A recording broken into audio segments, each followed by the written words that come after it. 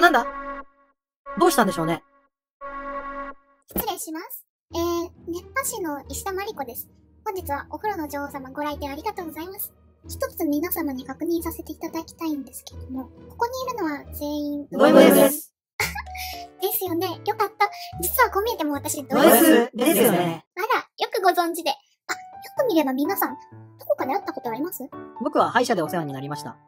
親知らずを抜いた方。僕は100円脱毛で。全身ピンセットでツルツルにしたお客さん。自分は、あのー、散歩っすね。深夜に首をつけてお散歩しましたね。僕はラーメン屋ですね。辛さの向こう側に行った方ですね。俺のことは思い出さなくていいぜ。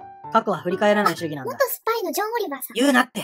ぼ、僕は、あなたのことは覚えてない。そんな、生まれ変わる前の臆病なあなたは覚えてる。